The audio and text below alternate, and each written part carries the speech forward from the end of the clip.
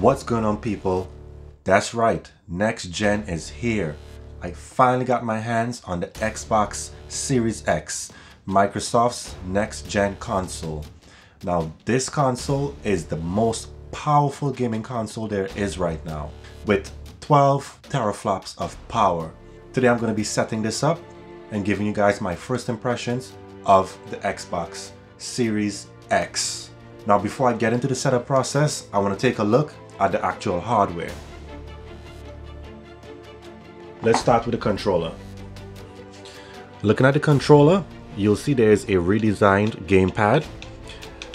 It's pretty much the same controller except for a few key differences.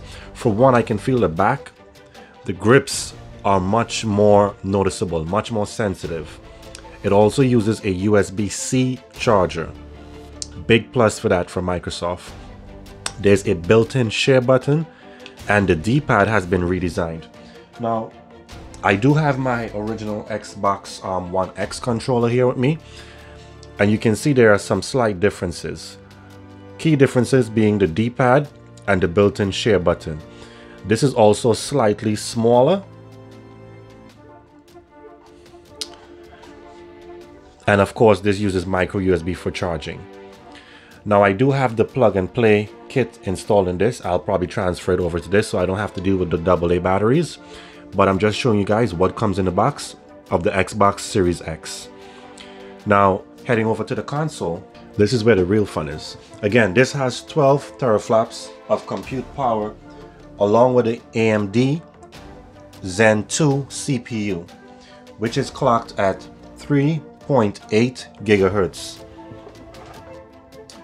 This is actually pretty compact in person, but it's pretty solid. It has some weight to it, but it makes you feel like it's a premium device for being so solid. The Xbox Series X comes with 1 terabyte of NVMe SSD storage. It supports up to 8K resolution, which definitely future proofs you, and it supports 4K up to 120 Hz. There are a few games that take advantage of that, for example like Gears of War 5. First of all, you're going to need the cable that came in the box. Now this cable is very important for the full potential of next gen.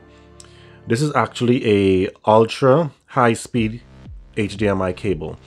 Basically it's HDMI 2.1 which allows your console to output 120 frames per second at 4K.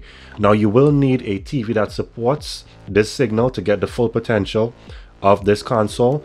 However, I may need to upgrade my TV in order to get that full 120 Hz at 4K. I think my TV caps out at 60 Hz at 4K.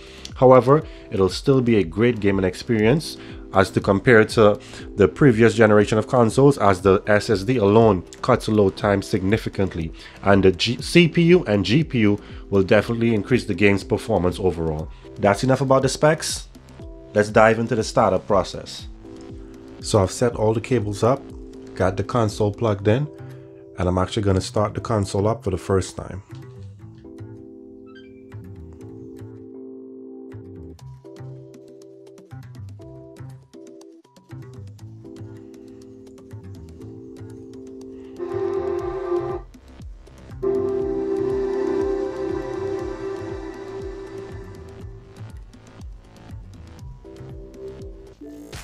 So let's hop into um let's hop into the loading process and see how quick this console can actually start um game gaming. We're in it already guys.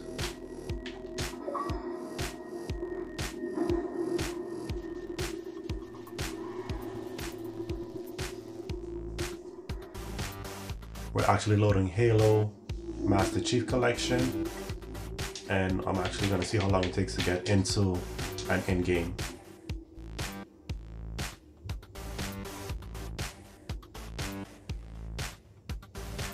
Wow. And that's it. We're gaming already, guys. Amazing. Next gen is here. Come on, let's figure out where that transit system dumped us. Put me in the console. This is amazing, guys. Where's Infinity?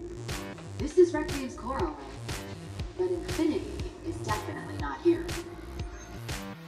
Just a little bit more on my first impressions. The console is whisper quiet. As you can see the blades are spinning and it's still pretty quiet. That's quite impressive if you ask me. I've played Halo for approximately one hour and the console never got loud in my experience. Again, this is still my first impressions on the console. I will be putting it through its paces and I'll give you guys a full review in the coming weeks. Be sure to subscribe and I'm going to be facing these two off. The Xbox One X versus the Xbox Series X. So we'll see how they stack up against each other. Again, if you haven't subscribed, be sure to hit that subscribe button so you don't miss any of my upcoming content. Thanks for watching. Peace.